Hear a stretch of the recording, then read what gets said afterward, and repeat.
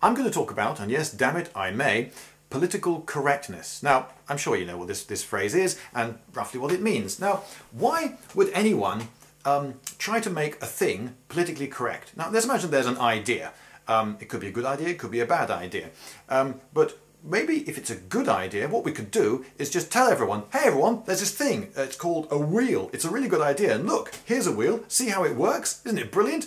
Getting around is going to be so much easier from now on. Yes, you can just demonstrate the goodness of your idea, and if it is a genuinely good idea, well, hey presto, it'll catch on. Um, but what if you've got an idea that's actually not all that good, is not actually based on fact, and probably won't work?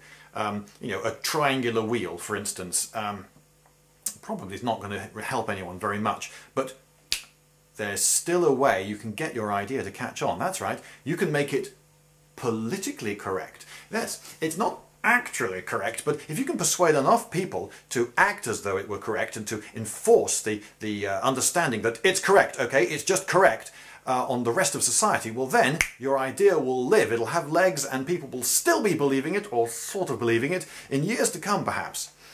And there's the thing, you see, I just noticed that all the things that I come across that are considered politically correct, I seem to disagree with because I don't think they're actually true.